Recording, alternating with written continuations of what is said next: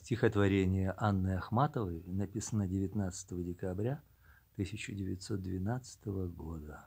Дал ты мне молодость трудную. Долгую песню льстивая Мне о славе пела судьба. Господи, я нерадивая, Твоя скупая раба, Не розою, ни былинкою. Не буду в садах отца,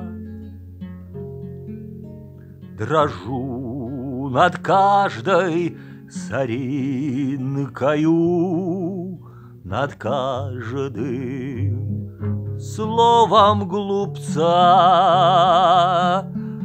Дал ты мне молодость трудную,